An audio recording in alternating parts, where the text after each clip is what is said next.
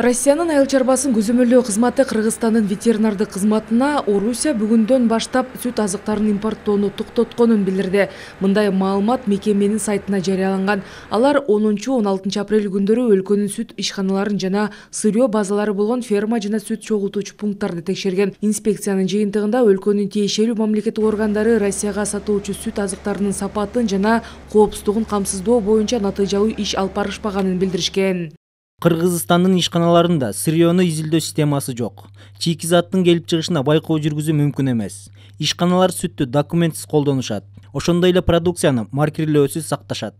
Кыргызстандын ветеринардык кызматы сүттү кайра иштетүүчү бардык ишканалардын россиянын жана еаиптин талаптарына жана нормаларына шайкештигин кайрадан текшерип россельхознадзорго тиешелүү кепилдиктерди бергенден кийин орусияга сүт азыктарын берүүнү кайра жандандыруу маселеси каралаары айтылган бул боюнча россиянын тиешелүү кызматынан кыргызстандын айыл чарба министрлигине расмий билдирүү келе элек экен. Ветеринардык кызматтын башчысы ашырбай жусуповдун айтымында быйыл жетинчи мартта россиянын ветеринардык жана фитосанитардык көзөмөл кызматынан кат келген. Анда быйыл январдан март айына чейин кыргызстандан экспортталган каймак май алты эсеге өскөнүн билдирген. Мындан улам жети адамдан турган топ кыргызстанга апрелде келип беш сүт өндүрүүчү заводду текшерип кыргызстандагы сүт азыктарынын шарттары жогорку деңгээлде экендигин белгилешкенин айтууда былтыр үч айдагы көлөм жүз алтымыш тонна э, сливочный май болгон болсо быйыл э, тогуз жүз элүү тонна болду деп бизге кат менен кайрылган да. Ошонун негизинде биз кыргызстан тарапты сүт азыктарын текшерип көрөлүк объем туура келеби туура келбейби деп.